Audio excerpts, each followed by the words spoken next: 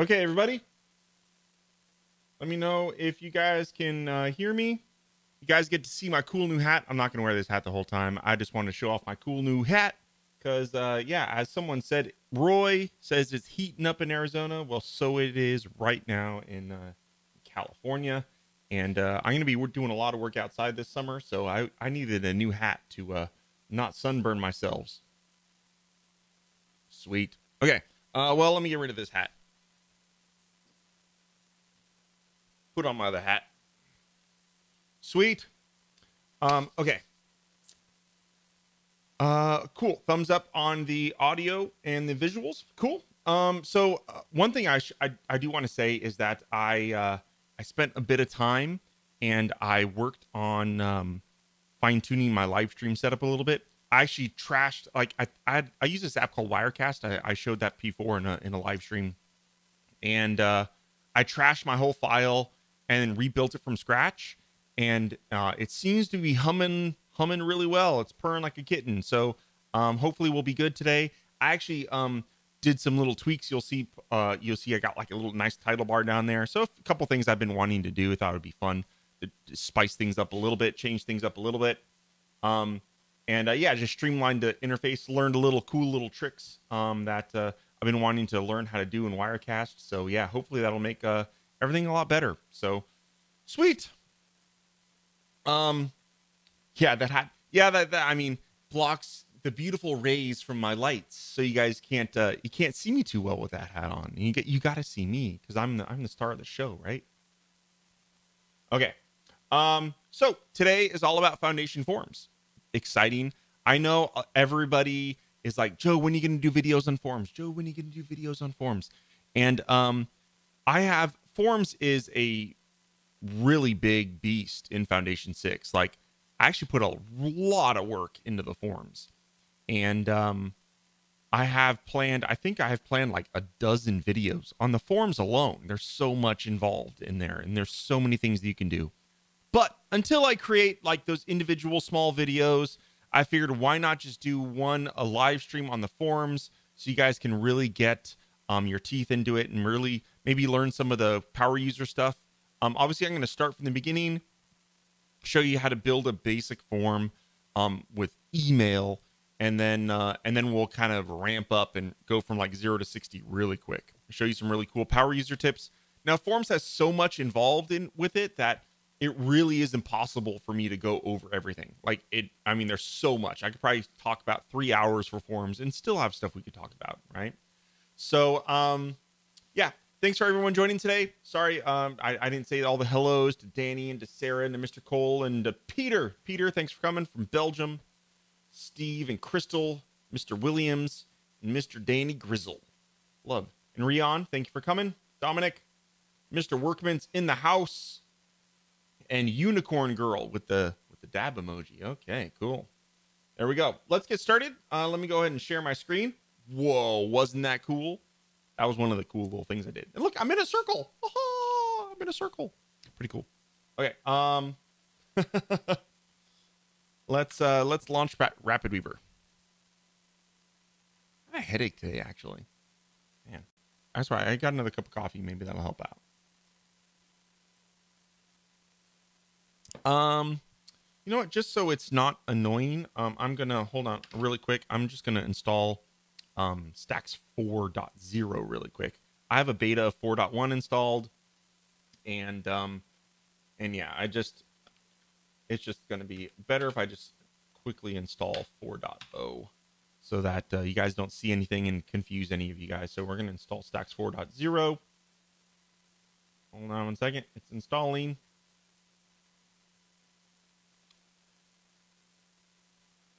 Oh, unicorn girl. unicorn girl is my daughter. Unicorn girl is my daughter. So everyone say hello to Jessica. She wanted to attend my live stream today.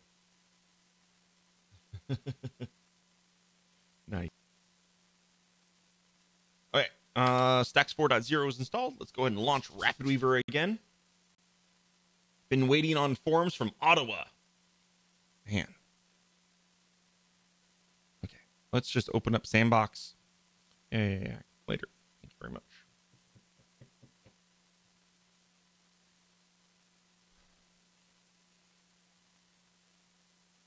Drum roll.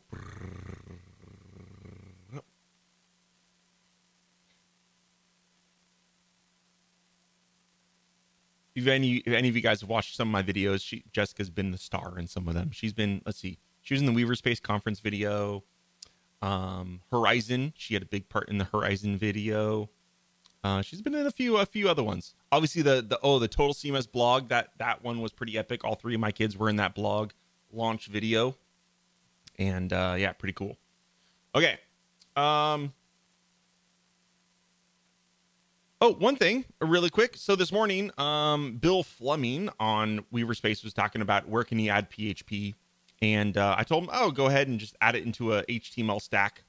And then I, I looked in this code section of uh, the Foundation Six stacks, and was it was just like there's something missing. So I added a PHP stack. Um, it just allows you to type in PHP code directly into here without having to do the PHP tags. So it's a minor thing, right? But hey, it's kind of cool. Um, so yeah, um, PHP, um, PHP stack that'll come in the next foundation update. I'll probably ship it this week. Um, it, it's a very minor thing, but uh, yeah, it's pre- it's cool one. Just drag and drop PHP stack on the page, and you can go ahead and add in your PHP. Okay, cool. Um, so, but we are here to talk about forms today, and um, let's just go ahead and add in uh, where we're going to start is I'm going to start with templates. Um, so if you haven't downloaded the Foundation 6 templates, go ahead and download the template pack. Um, they are free and um, they're on the Foundation product page. Go all the way down to the download section, and I think it's just Foundation 6 templates or something like that. Okay. And right now there's 40, I believe there's 46 templates now. Pretty cool. I shipped updates last week to the templates. Um, if you haven't checked for updates, go ahead and do that and get all. I shipped a ton of new templates. I'm not going to go over them today because uh, we have a lot to go over with forms, but we are going to look at forms. So if you look here, there are a bunch of different form um, setups. Right, the most simple one, okay, is the contact form, right, and that is a great place to start, and that's where we are going to start right now. So I'm going to go ahead and add a contact form to my page. And uh, as with normal templates, we're just going to extract this template. And now I have my nice form on the page. Okay. So um, I'll go through all the individual um, stacks and maybe some of the settings in a little bit. But right now, we're, we're just going to get a simple contact form created. Okay. And um, may, maybe we'll add, um, someone actually this week wanted to add a checkbox to the simple contact form. And maybe we'll do that too. Okay. Um, so now we have a form. So inside of the form, essentially, uh, you have to add all of your form fields inside this form stack. Okay. You see that there's a form stack and there's all kinds of stuff in here. Now, now when we preview this page, we're only going to see a few things. We're, we're going to see all these fields and the submit button. We're not going to see any of this other gibberish. Okay. Um, but we'll explain what that stuff is. So let's let's review what this template has. We have um, the basic, you know, fields that we would need for a form, right? So we have this first one is obviously the name. So if we look at the settings for this, right, we'll see that we have the field name is name, okay? Um, our placeholder text is your name, right? And that placeholder text is what's added into the uh, the background of the field, right? Uh, you can you can supply a default value. I don't think that makes sense for a contact form, but um, if you wanted to supply a default value, you can do that as well. Okay. Um, we're not gonna we're not gonna actually we'll look at a few other things. Okay, so interface. Um, let's see, we're gonna skip over assistive attributes for right now. Okay. Well, I guess we'll go over them. Okay. Oops. Hold on. Someone is trying to call me. Okay. Um, so assistive attributes, what that is, is that's for accessibility and things of that nature, right? And there's a lot of possibilities here. Okay. First off is the label. Okay. And that's what shows at the very top. Okay. And that tells, um, that's really important for accessibility. Okay. Now I have to say that forms are are really really really important to have there's a lot of accessibility features built into forms like a lot and um i'm sorry about that but i wanted to give you guys all the control that you really need especially with nowadays where um you know forms and everything are um, you know, you know, big people are getting sued because their websites, and a lot of that has to do with forms where people that are using assistive uh, devices can't fill out forms or don't know how to submit information, right? So, and in forms, there's so much um, accessible uh, accessible features that I wanted to enable all of that for you, so you guys have all of that. Okay, but the default features are pretty simple, right? We have a label. Okay. Um, now, if you didn't want the label up at top, actually, you know what? I'm going to skip over that. Um, I'm not going to deep dive into all these features yet. First, we have a label, and that's the name. Okay, that tells the accessible, uh, you know, uh, accessibility that this is your name. Okay. Then we have help text, and this is a little help text that shows below, okay, the field. Um, you can hide those. So if you, uh, you know, if you only wanted to, you know, not display the label or the help text, okay, you can hide it from the normal view. But what is great is it'll still be there for accessible devices, right? So it is it is definitely recommended that you fill these fields out because um, well, they're kind of needed for accessibility. Okay, next up, interface.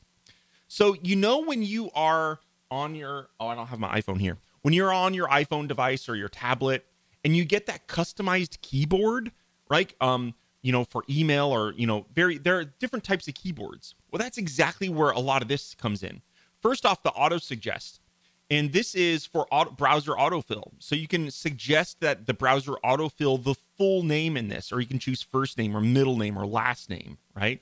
So obviously here I just have one name field, so I want their full name, okay? And then keyboard type, here you can choose what type of keyboard will be displayed when this field is selected on a mobile device, right? So obviously for a name, we want text. And then we can auto caps things, right? So we can just say, um, you know, I hate sometimes like when I'm going ahead and type my email, um, and the first letter is capitalized. Drives me bonkers, right? Well, um, I made sure that we added the ability for you to customize that. So for a name, we want the first letter of every word to be capitalized. Okay. Um, but then if we look at the email field, it's not, right? Um, and then um, we'll skip down to uh, validation. And down here, we set uh, set it to be required and not empty. Okay, so there we go. Next up is uh, email. So the next field is email. We're going to breeze through this one a little bit since I explained a lot of these, right? Obviously, the field name is email. Okay. Um, field names, I, I should note, cannot have spaces. Okay. Um, I recommend them just be a word. Okay. Uh, keep them simple and just use a word. Don't try to use dashes or underscores. Underscores might be okay, but I would recommend just a single word. Okay, uh, that would be much better. So here we set the field name to be email. Uh, here's our placeholder is just like a dummy email address so that people know you know what you're looking for. Um, then we have a label, uh, which is email. We have our help text, uh, just as we saw before. And if we look at the interface, we'll see that the interface my autofill suggestion is set to email because I want autofill to suggest that the email is populated in this field. Uh, the keyboard type, there is an email keyboard type. And uh, what that does is that adds a little at symbol next to the spacebar, right? So little things like this make your form a lot more usable to people, okay? Um, an auto caps is none. I don't want to auto cap anything, right? Because in email, we just want it all lowercase. So there's that. Um, and then down in required, uh, in validation, we have it required, verify the content is an email address. Okay. And next up is our comments area. Um, this has a field name of comments. Um, here you can set the like the height of the uh, comments field. Um, you know, so there's very other settings, various settings for that. We have our label and our help text. Um, for this, in this example here, I didn't want to display the help text um, under the field. So I hid that for, and it's only displayed for accessibility reasons.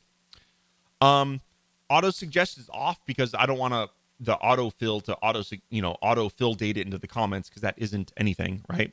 And auto caps is just inherent. It's just the default, right? So basically, um, that means I think it's the first letter of a sentence will be auto capitalized. Okay. Um, and then down here, I, I want the comment to be required and the verify the content is not empty. Okay, so it has some data. Okay, cool. Um, and then obviously I have a submit button. Now, um, I know there there are some confusion with uh, buttons in Foundation 6, so just really, really quick.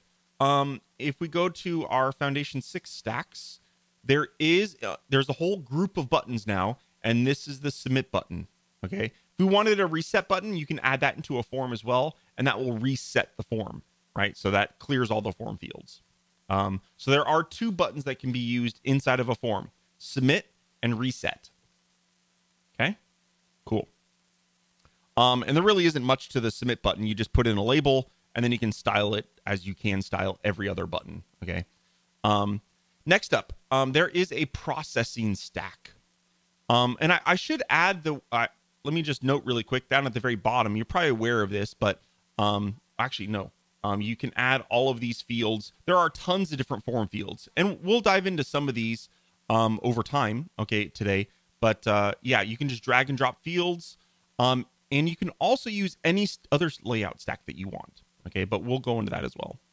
Uh, processing. So processing, what this does is once a form is submitted, um, it uh, it basically like shows the processing indicator. So by default, I think it does cover form where it puts like a little overlay on the form, and then the, uh, you have the circle uh, that kind of turns and animates. You can also have it cover the entire browser, or you can have it just kind of like static in place right? So like maybe if you had it, you know, right above the field and you set the position to be static, it would just it would display and then kind of spin right there. Okay. Um, I, I do like the cover form. I think that's a really cool and clever um, implementation. And there's a few style options for that and some animation options as well. Okay. Um, next up, you'll notice that there is a success message and an error message. Okay. Success obviously means um, when the form actions are successful. Okay. So in this, uh, we're going to go over form actions in a little bit. But when the form action returns back a success, this will be displayed. And then um, this particular error says um, if the form action displays an error on when we submit the form, then this error will be displayed. Okay. All right, cool. That kind of goes over all of the various stacks in this template. Okay. Um, Next up is going to be our actions. So forms support multiple actions. And by default in this template, we're going to use an email action. I think that's probably what most of you are going to want to use is an email action. Okay. There are other actions, and we're going to be going over those today. Okay. And uh, one important thing is you can add as many actions as you want. So if you want an, an e- a form to submit two emails, well, guess what? You just add two different email actions. Okay or you can do you know a get url action and two email actions there's you know all kinds of different combinations uh, it's, it's as much as you want okay um chances are you're probably just going to do a single action um but right now we're going to dive into email actions so what is that okay um so let's look at the email actions settings. Now if you look here i have um the the top here is our message is our subject. So this is going to be the subject of our email okay? And if you notice there's a, a little syntax here right? And we have curly brace curly brace. Now let me zoom in here. We have curly brace curly brace name curly brace curly brace. And this is i use this syntax in a few other stacks as well as in the foundation one forms and what this does is it will insert the form field the con the actual data from that field there right so um, if I'm a user and I fill out my name, Joe Workman, when the email is sent, it's going to take that value from that field, my name, Joe Workman, and insert it into the subject. Okay. Um, next up is our email template. Now, by default, if you just turn this off, um, if you don't supply a custom email template, essentially what you can do um, or what it does is it just basically it does a pre-formatted email with all the values from the form and um, yeah start off with that. Maybe that will work great for you okay? But you can also um, do a custom email template. And in this example here i'm actually putting in markdown okay? So if you if you are familiar with markdown if you notice here i have i'm putting an h3 tag and then i'm just doing a name colon and then i'm inserting the name field and I'm doing email colon and inserting the email field. And then below those, I'm putting in the comments field. Okay, really cool. Now, there's also a custom, um, there's a special um, macro. Okay, let's say I just wanted um, all of the fields. I just wanted to have a header and then I just wanted it to automatically insert all the fields. If you do um, three curly braces and uh, the word fields and then three curly braces, what this will do is it will get all of the fields in the entire form and, and insert them there as like a bulleted list. Okay.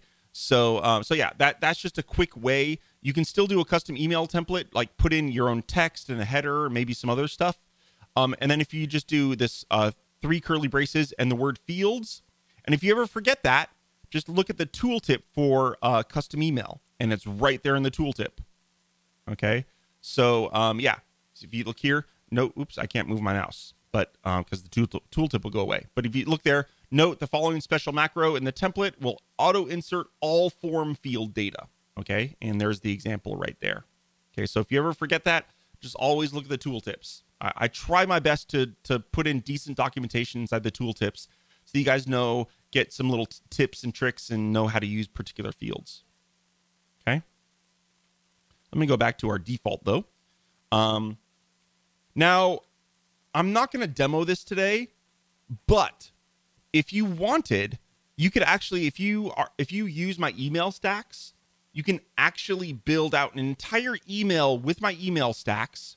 Use these macros inside of the email to where you want to insert all the fields. Paste the entire HTML for that email here in this setting, and it will work. Okay, that's really cool. Power user tip right there. Huge power user tip right there. Again, we're not going to do that today um, but you can definitely use that. I know this is a tiny field, but you just copy that HTML that's generated by my email stacks, paste it in here, and you're good to go. Like, that's really cool. Very, very, very cool. Okay. Um, so there we go. That has to do, and that, so that has to do with all the formatting of the email content. Okay. Next up is all that has to do with sending the from email address and whatnot. Now, from email address, this one gets a lot of people. Um, and it, this is a very, very, very important setting. Okay. Because hosts nowadays require that the from address be the same email domain as the domain your the website is on. Right. So um, if I had this form on joeworkman.net, this from address has to be a joeworkman.net email. It cannot be your Gmail address or Yahoo address or whatever, right? It has to be the domain that the form is sending the email from. If if you don't do this, your your server, your host will not send the email. Okay? Unless they're a really shady host. okay? Um so yeah, that is a very important one. The from address must be um, now the name you can set the name to be whatever you want. Now the to email, um, this is where you want to send the email to. So a lot of times this could be your email address, or um, if you want to actually send an email to the person that put their email in the form, what you can do is you can just do um, um, you can do uh, parenthesis or curly brace, curly brace, email, curly brace, curly brace. Okay, so there we go. So you could do that. Now, let's say you, you wanted to send an email to you and to this person. Well, guess what? You could just do a comma, and then you can put in um, support at weavers.space, right? And then here in the two, um, I want, because this, I want to match the comma list here. So we're going to do um, name. And then we're going to do Weavers space support. Right. So there we go, right? So now you can add multiple email addresses. It's just a comma delimited list, okay, of emails. And then you can, if you wanted to have corresponding names to those, it would just be a comma delimited list in the same order um, for the two names. So that's another little power user tip there. Okay. Um, and I think I, I document that here. Do I? Yep. There we go. A comma delimited list of emails that you want the email to be sent to. And look at the two name. I think you can also do a comma delimited list of names for the emails. Okay. So again, tooltips are a great thing. Um, this particular one, uh, these next settings are email on failure. Okay. and um, this these definitely want your email address in here um, because if there's any sort of failures or something goes wrong, um, it will email you. Okay, so that you know. Sometimes, obviously, there's certain errors that it won't email you on if like it crashes or something like that. But um, yeah, you should definitely put in your um, your admin uh, email address in here. Okay. Uh, and the from, you're probably going to want to put the same from address that you would put uh, up here. Okay. Um, and then optional fields, you can do um, you can do reply addresses. So if you want to reply to, so this is um, if you wanted the email um, to when someone hit reply it, to go to your Gmail address instead of the from address. This is where you would put your Gmail address, okay, or whatever email you want. This is the email that will be replied to. If you don't define a reply address, then the from address will be used as the reply address. Okay. Um, and then we have CCC fields and BCC fields. Um, and then lastly, um, you can use an SMTP server, right? So, um, you know, you can use your your host's SMTP server. Um, really, if you want very reliable email sent from a form, you probably want to enable SMTP. Okay. Um, yeah. Uh, you, you'll you'll get much better return rates and, and send rates um, if you used an SMTP server. Okay, so I do encourage that, but it's not required. Um, then at the very bottom, if you look at this, I have some tips, and this is just to remind you on how you can use those fields, right? So you can use curly brace, curly brace, field name, curly brace, curly brace. Okay, and then I, here's another tip I, I put in that macro, the special macro, put all the fields in your email. Okay. And those macros will work every in any of these fields. Okay. So they'll work in all of these fields. You can put them in the CC field, in the BCC field, the reply address field. It, it they won't work in the SMTP settings. That's that would be bad. Um, right. But they'll work in all of these settings. Okay. Uh, and I, th- I, they probably don't work in the from address field. Probably. I don't I don't know off the top of my head, but I would say they probably don't. Okay, so let's get this published. Uh, let me go ahead and uh, let's just do like um, what I'm gonna do is I'm gonna do um, no. I'm gonna do like no dash reply at joeworkman.net, right? Uh, there, and uh, we'll just put from Joe and then if we go down to reply address, let's uh, do the reply address to uh, support at weavers.space.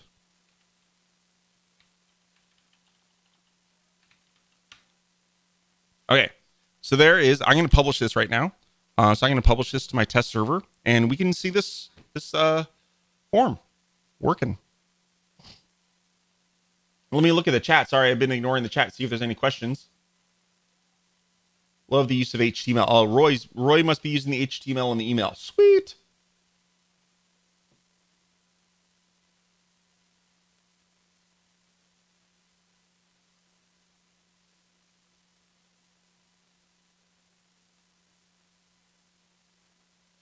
Oh, Davide had a, uh, a I'll, I'll, I'll get back to that, Davide. Uh, good, good point there. Okay, let's go ahead and look at the website. Okay.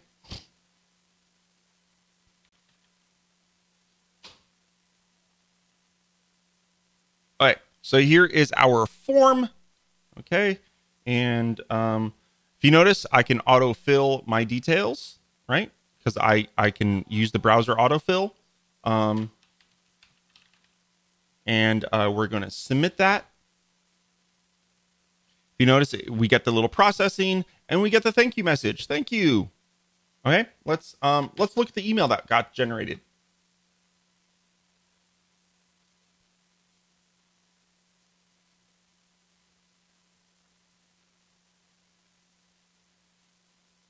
One second, why airmail airmail is launching here.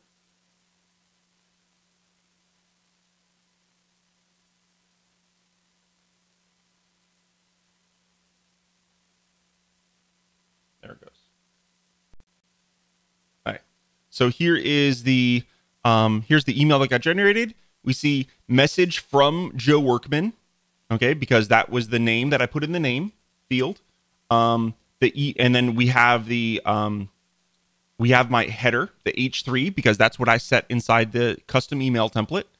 And then we have name colon the name field, email colon the email field, and hello there. Right. And if we look at uh, do, do, do, how can I look at like all the metadata for this? There it goes. So here we see the from is no reply at joeworkman.net. Okay. Um, the email was sent to um, Joe Workman, the email that was put inside of the email field, as well as su- my support email address. And then if I reply to this email, okay, you'll notice that it does reply to, um, oh, I have, I have, it's set to reply all by default. Um, but it, it replies to, oops, it replies to support at weavers.space. So yeah, pretty cool stuff, right? Um, really simple. Um, yeah, hopefully that, that irons out a, a couple kinks for you guys. Um, in terms of, you know, I really didn't do much. I, I did, you know, I spent the last half hour explaining this form and all of the fields, but I didn't, all I did is configure the email action to have my email address and we were good to go. Right. So definitely start off with this form contact um, field. Now, Davide um, put in the chat that um, there is a lot of times what you want to do is for your customers, you want to be able to configure like um, this from address or the to address maybe um, with total CMS. Okay. Um, so this is power user tip number one, or, or probably number three. I think it did a couple others. Okay. Um, so you can a lot of times what you might think you might want to do is you would just put a, a macro in here, right? So you would put in here. Let me zoom in so you can see.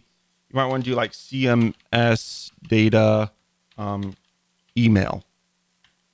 You might think that that would work, right? You might think that this would take. Oops. You might think that this macro would take the email CMS ID and put it in there. Okay. That does not work. Um, and the reason is um, the data that's in here, that's in all these settings, isn't inside the HTML of the page. Okay, it's on in a PHP file on a server so that it's you know it's kind of locked away up there. Um, but there's another way that we can do this.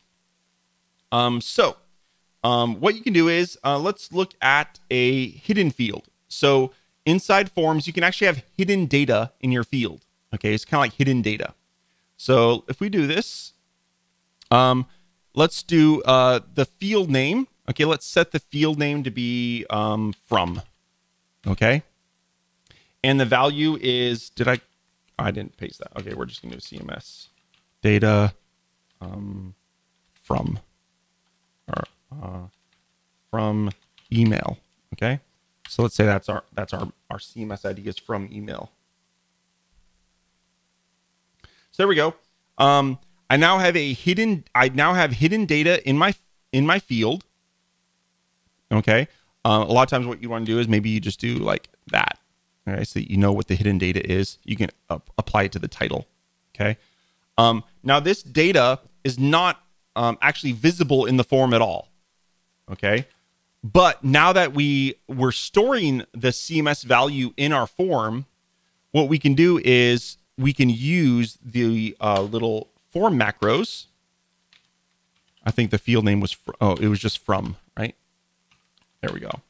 So now in my from address field, I can do the from because that is the field name of the hidden data, right? So here I set the field name to be from.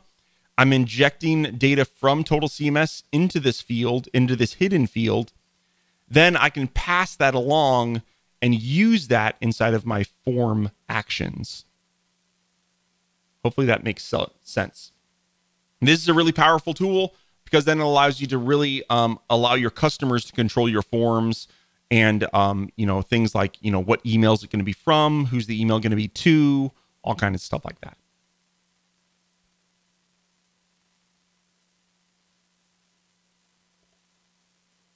Okay. Um, so next up is um, actually it was actually Fernando who's here today. Um, wanted to be able to add um, a checkbox. Okay, um, in here. So we're gonna do this. We're gonna add in a checkbox into my form, and um, you know, maybe uh, we'll just do um, we'll do the field name as I don't know GDPR. Okay. Um, and then what you want to do in the label, you could be like um, agree to our um, and then maybe privacy policy or something like that, right? And probably what you'd want to do is maybe you'd you'd um you'd actually add a little bit of HTML in this link if you wanted this privacy policy to be a link to something. I've seen a couple people do that, and I thought that was pretty clever. Um, I'm not gonna. I'm just gonna put in uh, some basic HTML in here.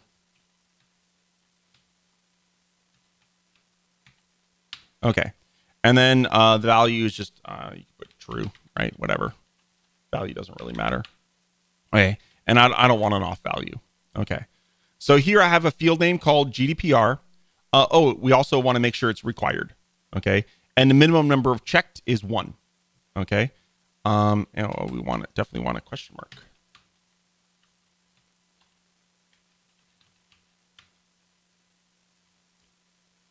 Okay. So the reason we have min checked here is because you, with checkboxes, you can actually have multiple checkboxes with the same field name. Okay. Um, in this instance, we only wanted one. We only want one checkbox, but um, you can have multiple checkboxes for a field name because let's say you know you have a bunch of options um, and you want a user to be able to select as many of those options as you want. Okay, and then you can pass that data along to the to the email or the form or whatever. Okay. Um, and then only the values that are checked will be displayed. So, like, let's say, um, you know, you had a field where you had checkboxes and you're like, uh, you know, I need you, you're required to select at least two, right? Um, of these checkboxes. Then you can say minimum required two. Um, in this instance, I only want one checked, um, and uh, this should work. Okay, so we have required checkbox, um, and um, I'm just going to preview this locally. I'm not going to publish this. Um, oh, here's an interesting thing. I remember last week in the live stream, I actually, we talked about um, inline data, right? Checkboxes are an inline field. Okay. Um, so what we want to do is, um, if we want, obviously, we want this on a new line. Um, what we could do is, uh, we just slap it in a container, or slap the button in a container. Either or, either or should work. I mean, we'll just uh, we'll be so there's no gutters and whatnot. There we go. Right. So um, now if if I try to submit this, well, a you're you're going to see I have all kinds of errors. Okay. Um, and that's because uh, if you look here um, for each field, um, one thing I did skip is there's an error field on every single field, right? And then you can display that error message. Okay, this field is required. Okay. Um, so uh, there we go. We we got a custom error message for each field. I don't have them for checkboxes yet, the custom error field. Um, but if you notice, that if I fill, uh, let's go ahead and just fill out everything else. Um, boop, and some data here. Click submit. You'll see that this does still say, um, "Hey, you can't do that," right? Um, so because a the the if you notice the the text is still red, it's pretty apparent. Um, it doesn't have a custom field, but there we go. Uh, and then if I if I check that and hit submit, it it will work if it were published. Oh, there we go. Oh, there was a problem submitting the form because you can't submit forms locally. Okay. So that's how you can add a uh, custom checkbox. Um, someone on Weaverspace, I think it was Sarah O'Neill, um, did figure out how to um, in this one situation, uh, when you only have one checkbox to have a custom error field, um, I added it to my notes to look into that. Um, it gets a lot much trickier when you have multiple checkboxes. Um, but yeah, I'll, I'll, think about how to do that. Add a custom error message to a checkbox. But right now, at least the the error, the text turns red, so that it's definitely apparent that the uh, there's an error with that field. Um, and that's pretty common. I think people see checkboxes, and if it turns red, it's pretty apparent that that checkbox needs to be clicked. okay. Um, one thing I should note is um, formatting of like columns and whatnot. Okay. You can definitely use whatever stacks you want inside of a form, right? So if you wanted to lay out your, um, you know, if you wanted to have a two column inside your form, go ahead and do that. Just add a two column stack. Um, you know, you can put maybe we'll put the the text and the email in one column, um, and then we'll have the the comments in the second column, something like that, right? We'll add a little bit of padding and margin. Preview that, right? You'll see there, oh, maybe we'd want to add the checkboxes so that they all line up nicely with these. But you see there, you're not limited uh, with the layouts. You can do whatever layouts you want, right? Um, you could even, uh, if you look at, let's look at some other forms that I have.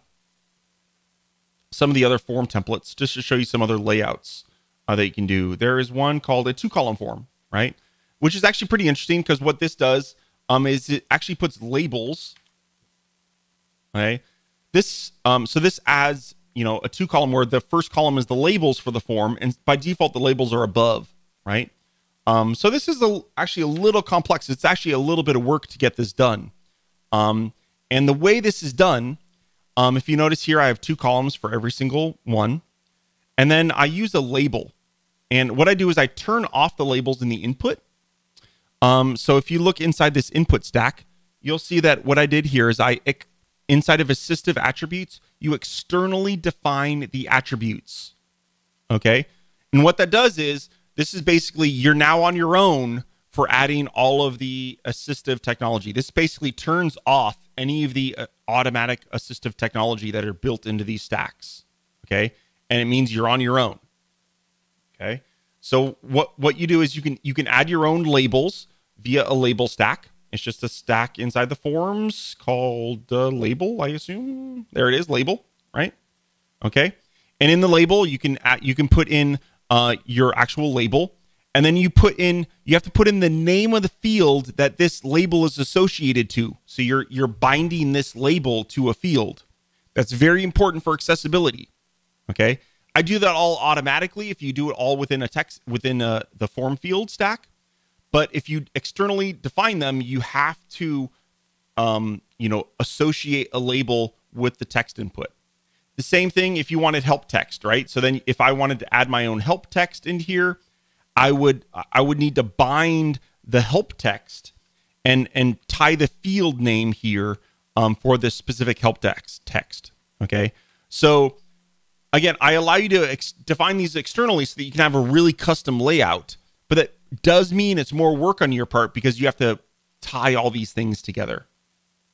Okay, and same thing, you'll notice that there's an error field um, this is similarly uh, to the error field that's inside this accessibility, where you can have a custom error and then you tie that to the actual um, input name.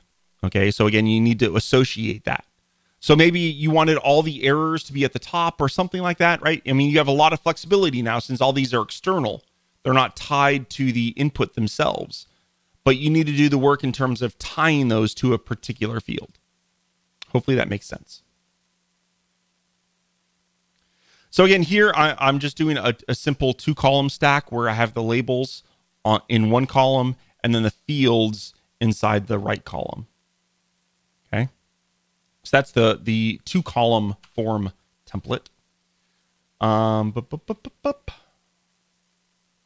multi-step forms. Um, this is pretty cool. This uses um, uses tabs actually to create multi-step forms.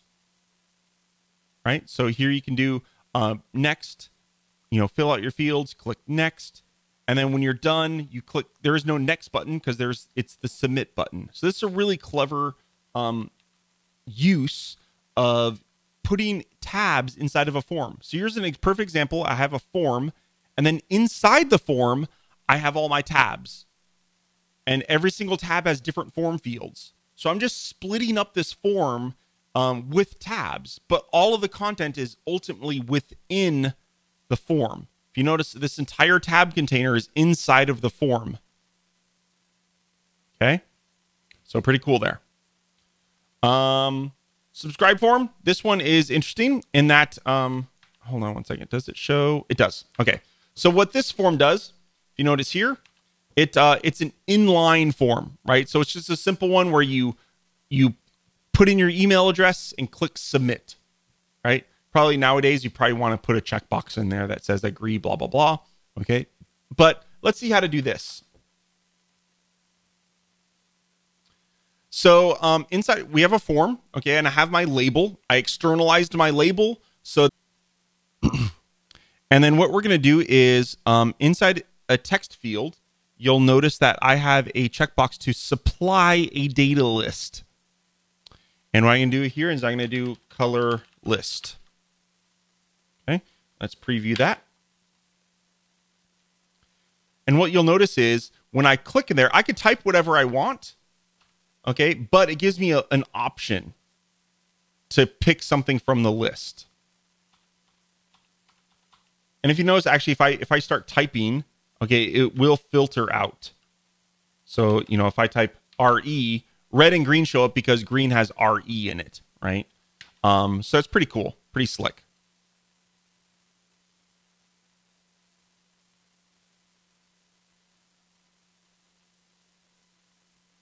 Um, just uh, is everybody hearing me? I got a little warning saying that uh, uh, maybe I uh, things weren't working too great.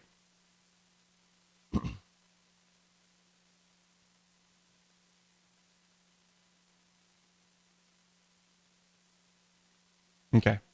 Well,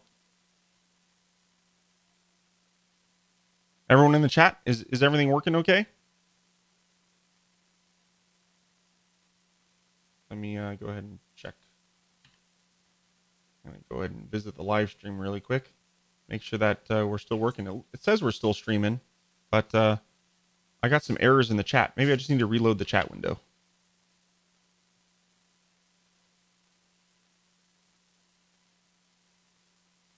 Oh man, there's everybody. I had to reload my uh, my chat window. Okay. Excellent. It looked like maybe YouTube had a little. Oh man, look at all these comments I missed. okay. Okay, cool. Sorry about that. Uh, look, maybe YouTube had a little glitch because I uh, the chat room and maybe I looks maybe maybe maybe I froze with you guys. Okay. Um. So hopefully you guys saw the data list. I'm not sure if my live stream uh, hung or not, but um, this allows you to kind of create a pre-option list for various text inputs. It's very cool. You can use it in a few different fields actually. Um, it's not just text input. I think number input also has data list. Yes, number input uh, supports data list, and I think that might be it. I don't think comments do, but text input obviously does. Uh, text area. I don't think text area does. No, it does not. Okay. Um, so yeah, data list is really cool. Um, next up is date. Uh, I could probably talk about the all the various options inside the date picker for a half hour. I'm not going to go into it, but you have all kinds of control inside the date picker for what is going to be displayed in the view. Like what is the start view, what is the end view, do you want to include weekends? And do you want to exclude various holidays? There's all kinds of crazy powerful stuff in the date in the date picker okay? Um, again I, am not going to dive into that. I could probably go on for 30 minutes alone just on this one date picker stack and all the options that you have for setting up the date picker okay? Um, file upload um, file upload is just a simple button it allows you to upload um, a file do I? Oh no, I allow you to upload multiple files. Um, and you can select whether or not it's images, audio files, and stuff like that. So you can kind of limit what files are done. Okay. Right now, uploaded files, the only thing that they're they can do is they upload and then they will um, uh, become email attachments. Okay. Um, they don't store anything on the server. Um, they just get attached to the email and deleted. Um, they are deleted for security purposes. Um, but yeah, right now they are just attached to an email. The email is then sent, and the the file itself is deleted from the server. Okay. Hidden data we went over. Honeypot. I get a lot of questions about Joe. What in the heck is Honeypot? So um, before I do that, let's actually see that there's actually is reCAPTCHA support. Um, I'm not going to go through the whole reCAPTCHA setup. You need to go set up a, a API key with Google because Google owns reCAPTCHA now, and um, I hate reCAPTCHA. Okay, which is why we now have Honeypot. You all know what reCAPTCHA is. Okay, we've all done click on the th- pictures that have a bus, and you click on the five pictures, and then it brings up new images, and you spend 30 seconds selecting images. Right? I, I don't care for reCAPTCHA much anymore. I thought they improved it for a small amount, and then they made it bad again. Um, so Honeypot, Honeypot is a way. Um, yes, uh, Glenn, I, I will show more form actions. I just wanted to go over some some of the fields right now. I will be going over more form actions. Um, Honeypot, um, Honeypot, what that is is essentially what it does it is it creates a fake field in your form, okay, and you you actually populate what that fake field is. So you give it a field name, you give it a fake placeholder, you give it a fake ARIA value, and then you de- you define what type of field it should be. Right? So again, this is a fake field. And what happens is um this field is never displayed to the form at all, but bots will see this field and attempt to fill it out because they want to spam your forms. And what the form stack will do is if anything is filled into those fields, the form will not be submitted. Okay, so that's how Honeypot works, right?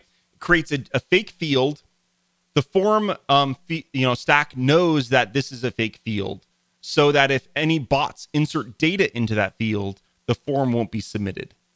Hopefully that helps. Honeypot's pretty cool. we have multi selects. I'm not going to go through all these. Range slider is actually kind of cool. Um, it looks really nice. Um, there's all kinds of options there. Um, switches, select boxes. Um, yeah. Okay, we're gonna we're gonna dive into uh, some form actions because we're running out of time here, and I haven't even gotten into that. So, what are the other form actions? So we've we've reviewed email action. That's really cool. Um, let's go over let's go over get URL action. Okay what is a get action? So, um, there are different types of request types that forms can submit. Um, most forms submit as something called a post form. Okay. Um, but you can also do a get action. And what that does is it's the same thing as like typing in a URL in the bar. Okay. Actually, on was that during the live stream or was it during the hangout on Friday? I think it was during the hangout on Friday. Um, I was helping, I believe it was Sarah O'Neill that's here today. Or no, maybe it was someone else. I don't remember now. Um, but I helped someone actually do something really cool with Total CMS and Foundation 6 forms. And uh, we use this get URL action. I'm going to show, I'm going to, I'm to do a really quick example here. Let's just go ahead and I'm going to add a uh, text input. And um, we're going to do um, we're going to do this as Q. Our input name is going to be Q. Okay, you'll find out why really quick. And our label is going to be search Google. Default value is nothing. Um, we call this search as our label.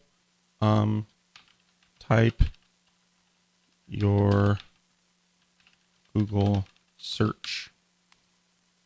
Okay my URL action, okay, is going to be um, https colon slash slash www.google.com slash. Actually, before I do that really quick, let's just do test. That's not what I wanted. Um,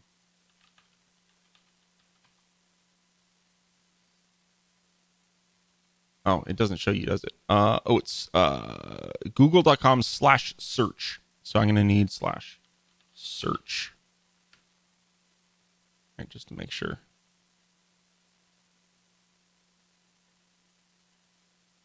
Why does it keep showing that? I want to.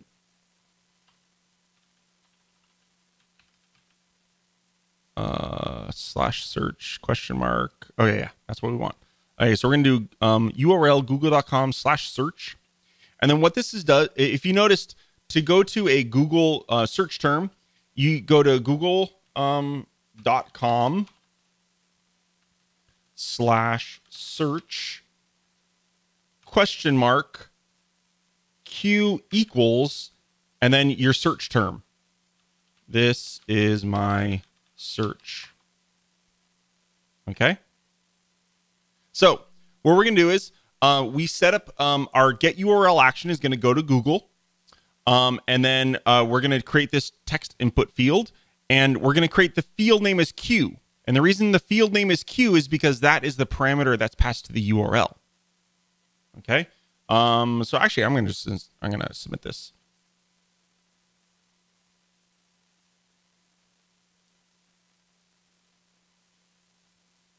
Okay. And uh, let's go here. Go to my sandbox site. And we have a we have a search box. So I'm going to search I'm going to search RapidWeaver. Oops. Enter. And that takes me to Google and searches RapidWeaver. Look at that. How cool is that? Right? Now how does this help you? Like like you're probably not going to create Google search forms um, you know, all the time on your site, right? Um, but you could do something like this, right? You could do um, site colon, oh man, is it weavers dot space?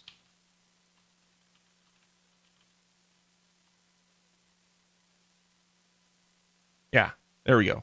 So you can do a site specific search, right? Um, and I think if you just did like this, uh, I don't know. Hmm. You'd have to do some some research on how you can pass this via a parameter or something like that. But then you can create a site specific search field. Kind of kind of interesting. But um, what I did, um, I'm not going to do the demo that I did uh, that I we generated for the person. But essentially, what we did is um, we what she wanted to do was if you're familiar with total cms total cms uses uh, urls you know url queries to parse out a permalink for a blog. Well what she wanted to do is she wanted all permalinks to be hidden um, and then basically if you had to type in the permalink into the search box and we hit enter it would actually just load that permalink um, into the browser. And that was all done via a get url action because basically we were um, passing the form fields into a URL. Hopefully that isn't too confusing. But yeah, that's really cool. It's very powerful. Um, other things that you could do is if you're familiar with my agent stack, my agent stack has um, agent URL, which can then take those URL uh, parameters and then you can display content based on things that you know data that was passed to it, all kinds of cool stuff. Um, man, that that's probably a two hour stream alone um, on just that one topic. Okay. But get URL action. So that's get URL action. Oops, I deleted my form. Um, next up is post URL action. And this is if you know you have a URL um, that you need to post data to. Um, basically, it'll take all the form data and it will do a post URL. And it's, it's hard to uh, explain what that means. Essentially, it's similar to a GET request, but all of the data is hidden. It's not in the URL. Okay, it's all it's all passed to the server within the request. So that means that um, whatever URL you are posting, you have to have logic that then parses that data. Okay, so a lot of this this is probably more advanced for people that know what this is. You're going to use this. Okay, if you have PHP on the on the page, it's going to parse the post variable. Um, you can definitely use this. Next is post URL background Ajax. And what this does is instead of now the post URL action will actually kind of it'll load the URL in the browser. Okay. Um, this particular one, it just does it in the background via an Ajax request.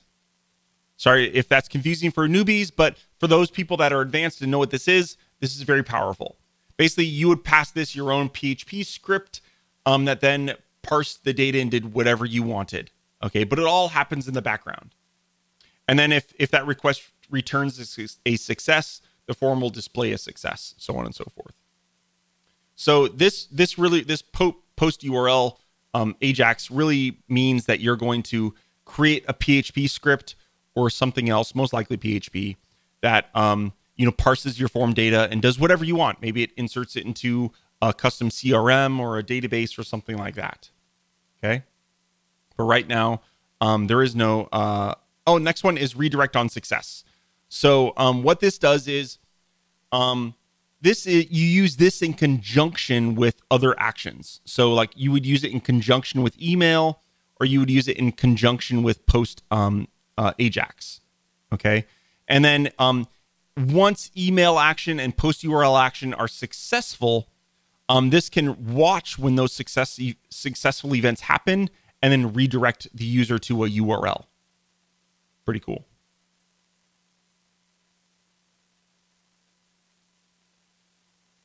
Okay. Um, the last thing that I want to show um, is actually I'm going to go ahead and, and chuck on that the default contact form again really quick. Publish that.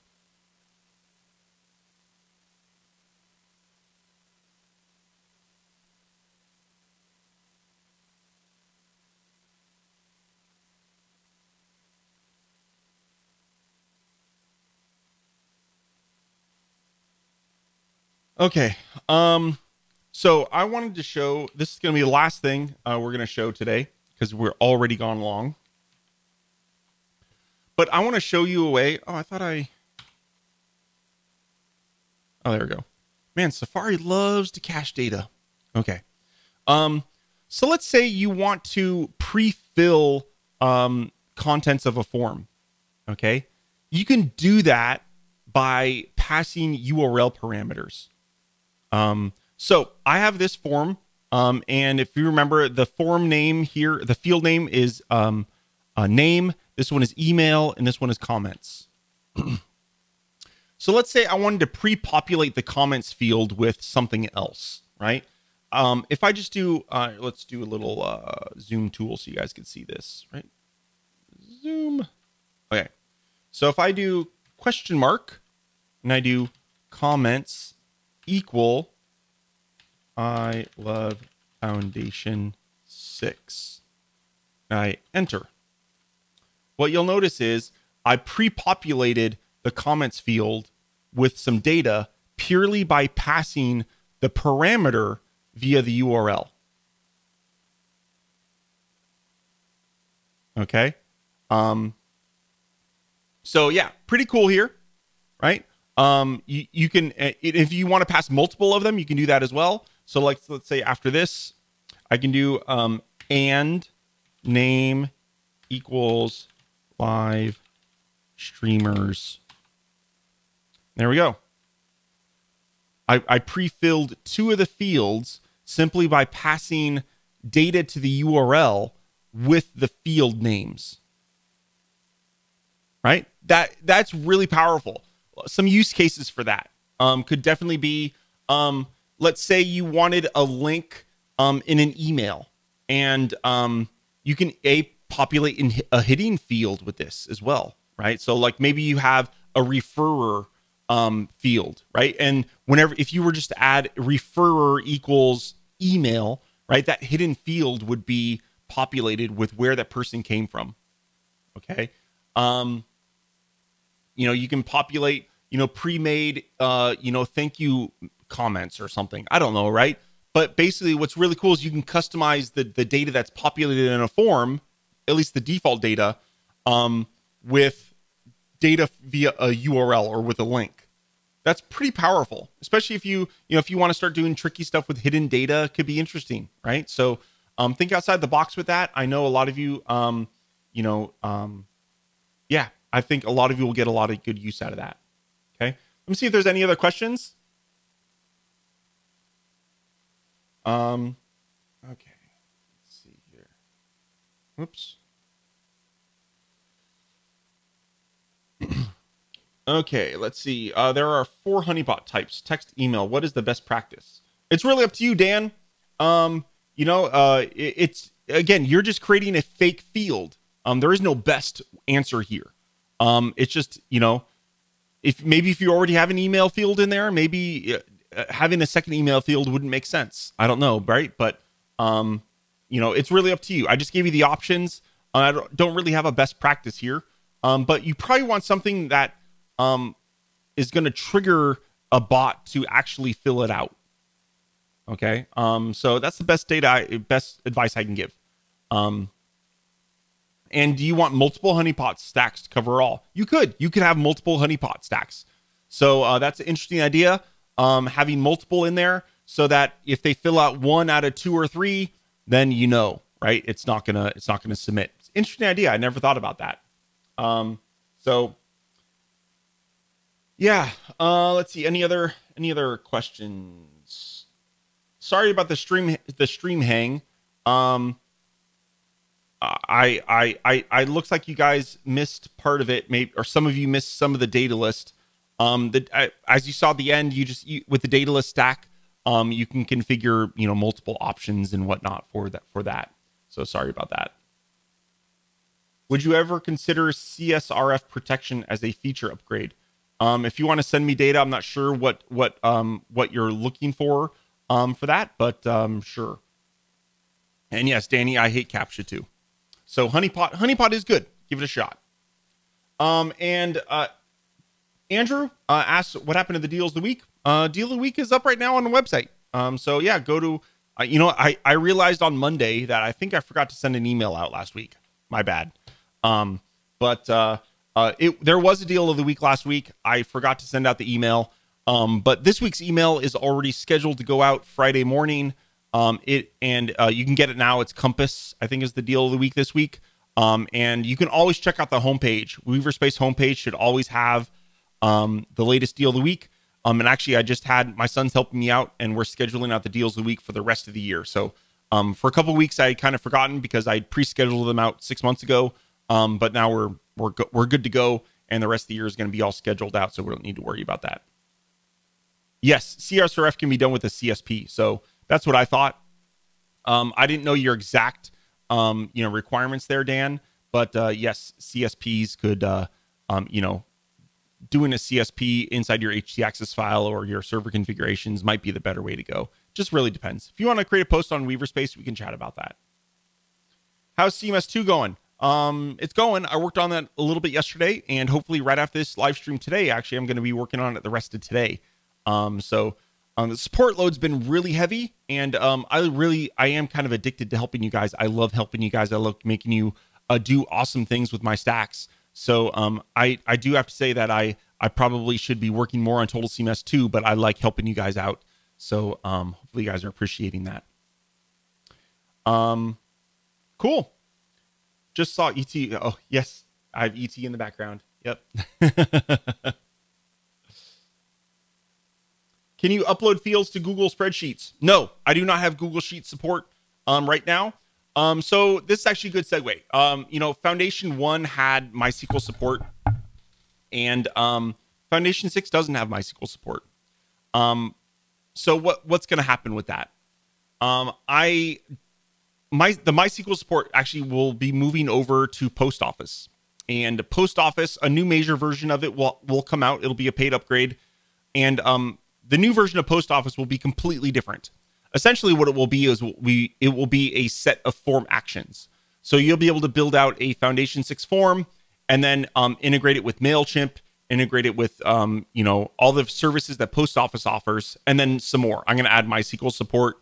Um, I'm actually going to add support for Zapier, which it, which will be really cool as well. So you can have your you know your forms submit to Zapier, which then can do an infinite amount of things. If you want that to integrate with Google Sheets, you can do that.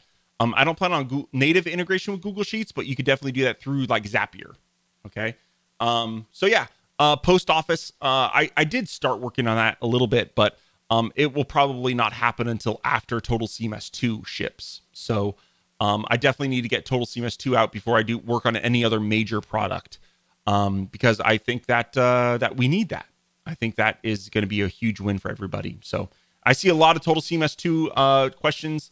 Um, I- am not going to go through and answer every single each one of those. Are there tooltips part of CMS2? I'm not sure what tooltips you're speaking of, Gaston, but um, there's a lot of really cool stuff in total CMS2.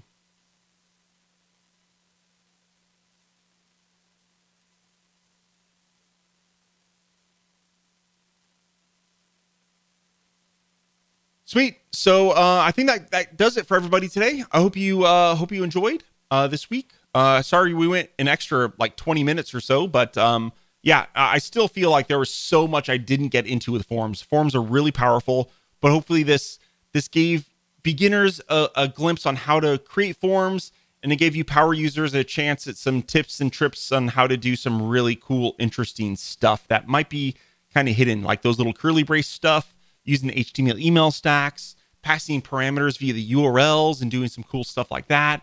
Some real powerful stuff in forms. So I hope you enjoy that. Get a lot out of it. And uh, cool. We'll see you. Hopefully, a lot of you will see you on Friday at the Hangout. And uh, if we don't, we'll see you over on the Weaverspace community. Take care, everyone. Talk to you later. Bye.